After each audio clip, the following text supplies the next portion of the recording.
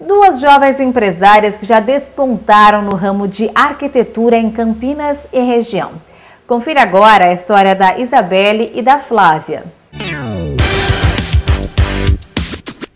Elas são jovens, porém experientes. Empresárias no ramo da arquitetura, Isabelle e Flávia se conheceram trabalhando juntas e somaram a vontade de iniciar o próprio negócio. Nós trabalhamos juntas no escritório de arquitetura e quando eu saí de lá, eu tive a ideia, tanto eu quanto ela já conversávamos sobre isso, mas eu, eu, tive a ideia de montar um escritório meu. No dia que eu liguei para ela falando que eu tinha saído, ela vamos nos juntar e ir em frente. E daí foi onde tudo se iniciou, na verdade. Especialistas em design de interiores e tendo estudado na Itália, as arquitetas desenvolvem um trabalho de excelência na criação de projetos de arquitetura, design de interiores e gerenciamento de obras. Para Isabelle, o mais importante é dar todo o suporte no atendimento. O principal diferencial, com certeza, é atender o cliente com todo carinho, toda a dedicação possível.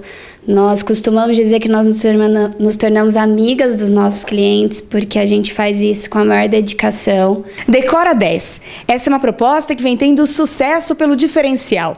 Nela, as arquitetas atendem a todos os públicos a um preço que cabe no bolso e entregam um projeto em até 10 dias. Qualquer pessoa hoje em dia, tendo as diretrizes corretas, por trás profissionais como nós, que possamos é, direcioná-los. Dá para fazer isso com certeza para todos. Todo mundo tem direito a ter uma casa, um apartamento lindíssimo. As metas a curto e longo prazo são muitas e as empresárias mostram que têm determinação para realizá-las com certeza aumentar o escritório, formar uma equipe de arquitetos, assim, as, eu e ela, né, as proprietárias, mas uma equipe grande para nos ajudar aí com os nossos projetos. E fazer tudo com muito carinho, tratar as pessoas com muito respeito e assim, com certeza vai longe, não tem dúvida.